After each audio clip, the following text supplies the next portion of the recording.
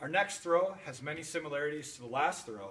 This time my opponent strikes. We're starting with the strike because we need to learn how to establish this clinch. It's also easier to throw somebody after you hit them. Now I make the underhook. But this time I'm going to put my feet in between my opponent's legs. I'm going to bring my hip to the side and I'm going to lift using the strength of my legs. So here, I bring my hip over and I'm going to lift. Right now, I'm up on the balls of my feet. My heels are not even touching the ground. I want to have most of my weight forward. I'm going to pull, throw, and I duck my head.